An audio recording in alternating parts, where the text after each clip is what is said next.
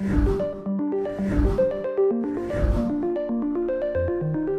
flywheel is just a spinning hub that's storing kinetic energy. Until the demand for it is there, then we'll push it back out. Within a blink of an eye, it spins 266 times. That's just amazing.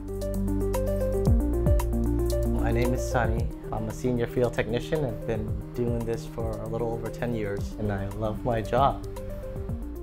This facility, Hazle Spindle, is a 20 megawatt flywheel energy storage plant. There's a total of 200 flywheels that's on site.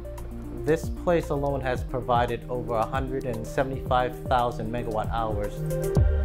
We monitor the facility 24-7 through what is called a, a SEM monitor, which you can control from anywhere in the world actually. This technology has just come so far. I tell you honestly, I like everything about it.